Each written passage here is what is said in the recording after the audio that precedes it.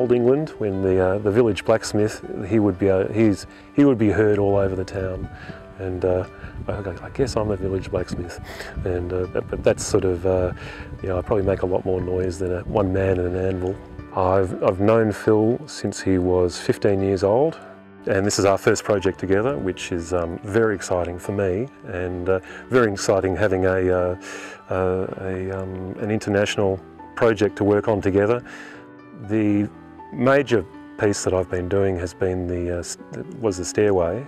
Another company they needed somebody to do the the spiral staircase handrail, so I, I uh, bent that up and we, we made a, a, pretty simple design, but it's a, it's a good structural design and uh, it, it, it, really highlights the um, laser cut stairway, so it doesn't, it doesn't interrupt that. The second part of our project is the shower head and it's a, uh, it's a gentle copper spiral and I wanted to make something that looked as much like a water feature as a, as, as, and serve a practical purpose as a shower head. So uh, we drilled lots of tiny little holes in it and that was a uh, that was a, that was quite a process. I broke about five tiny little drills, um, little one millimeter drills, and uh, yeah, so that that was that was a, a good fun um, piece to work on. It's all been work so far. I haven't thought about the gravity of how big, and I, I've, uh, people, everyone I've told I don't think there's been one person that I haven't mentioned that I've got a couple of pieces going in the Chelsea Flower Show and they go, wow.